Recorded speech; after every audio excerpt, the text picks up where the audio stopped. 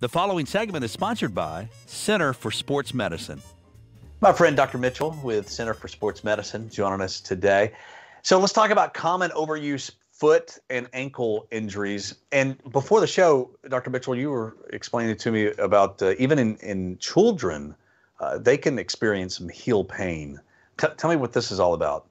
Yeah, so so there's actually a, a growth plate down at the back part of the heel bone called the calcaneus and at the top part of that growth plate is where your Achilles tendon, near where your Achilles tendon attaches.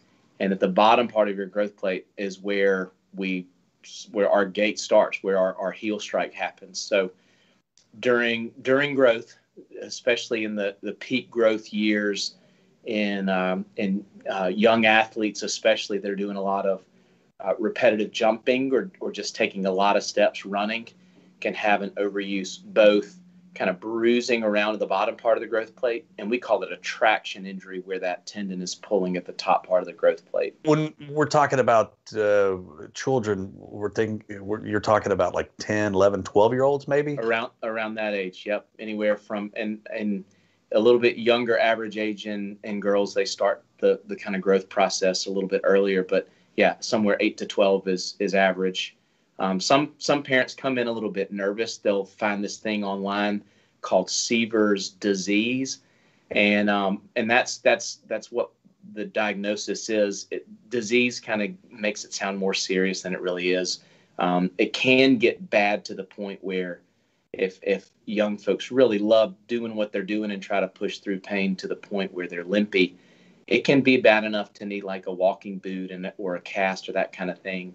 Um, but generally, we can get it better without that by doing the right stretches, modifying what we're doing, use some some cushions and, and shoe inserts that can help that a lot. Okay, very interesting because if, if our child comes home, maybe from softball practice or soccer or even just playing on the you know on the playground at recess, and, and they're complaining about their heel hurting, is that something that a parent should say? You know what, we, we need to call sports medicine and orthopedics it'd be a good idea. So anytime, anytime there's a kid that's limping, I think having a having an orthopedist, uh, sports medicine specialist evaluate it, especially if it lasts despite resting or it's it's um, lasting more than a day or so.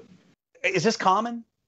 Really common, really common, and it's you know during during peak growth peak growth years and really active young athletes, it's really common, um, and it's really similar in a lot of ways to what you know once the growth plate closes it's no longer something that can that that, that is uh, that can bother young folks but it's similar to to something called plantar fasciitis that uh, those of us that don't have growth plates anymore can have the same kind of overuse injury there's a band of tissue in the bottom part of your foot called the plantar fascia that that um, that we can have same kind of overuse injuries and honestly a lot of the treatment is the same right okay. stretches the right shoe inserts and and oftentimes anti-inflammatory medicines are helpful too.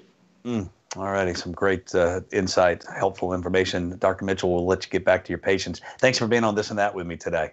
Anytime, happy to.